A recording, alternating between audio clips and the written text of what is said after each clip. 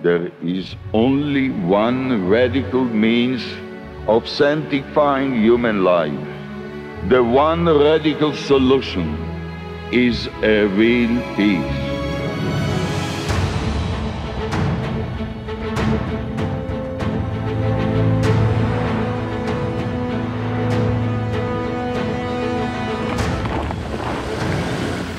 In שבה החלטתי שאני נשאר בצבא, זו הייתה התקופה שהייתי מראל במצור בירושלים.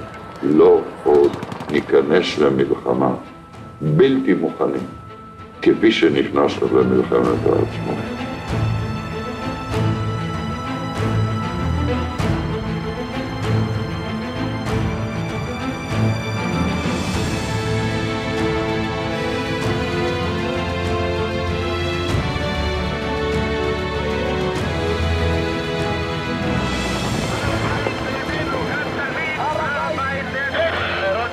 המלחמה היא עניין קשה ואכזרי מעיקרו, מלווה בהרבה דם ודמעות. אך דווקא במלחמה הזו שעברה עלינו, באו לידי ביטוי גילויים מופלאים ונדירים של אומץ לב וגבורה, בצידם של גילויים אנושיים, של אחווה ורעות ואפילו של שאר רוח. מי שלא ראה אנשי צוותו של טנק הממשיכים בתנופת ההסתערות כאשר מפקדם הרוג ורכבם פגוע קשה.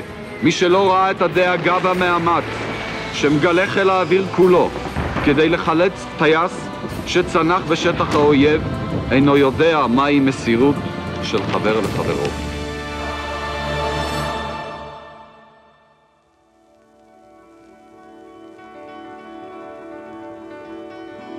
פניתי לראש הממשלה ושר הביטחון, לוי אשכול, זיכרונו לברכה, וביקשתי שעם סיום תפקידי, בארבע שנים כרמטכ"ל, אתמנה לשגריר ישראל בוושינגטון. אשכול, שפניתי אליו, אמר לי, יצחק, תחזיק אותי, אני עוד מעט נופל מהכיסא, אתה דיפלומט.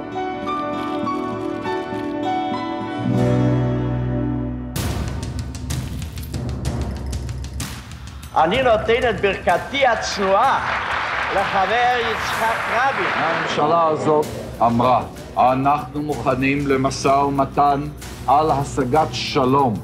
שלום שיחסל את המלחמה, יציב גבולות ביטחון, יפתור את הנושא הפלסטיני, שלום אמיתי.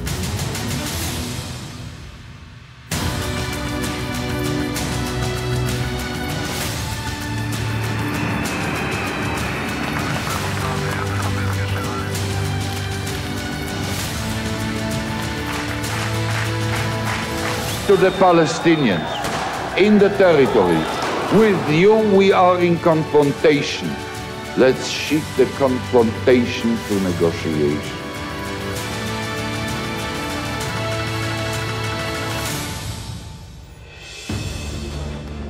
אני רואה בתפקידי בעת הזאת הזדמנות היסטורית לממש תנועה בכיוון של מחשבות בלתי מוסכמות בעבר. בשבילי, כהונתי כראש ממשלה, זו גולה כותרת של כל חיי הפוליטיים והביטחוניים.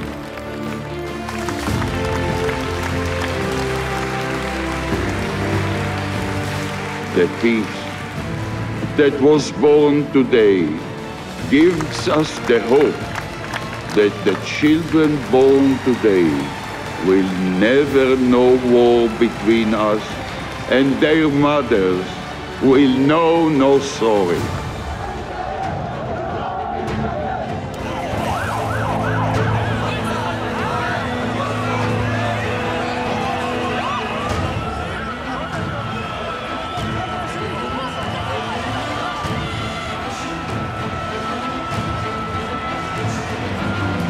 הייתי איש צבא 27 שנים.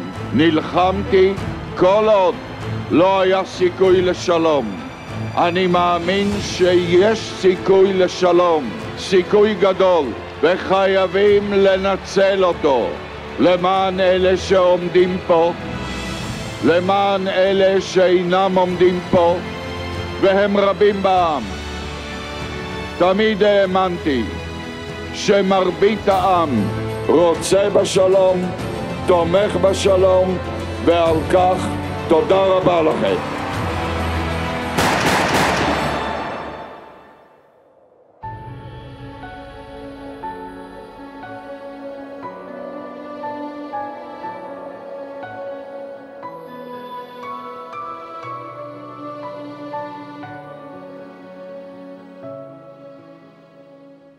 We wake up every morning now as different people. Peace is possible.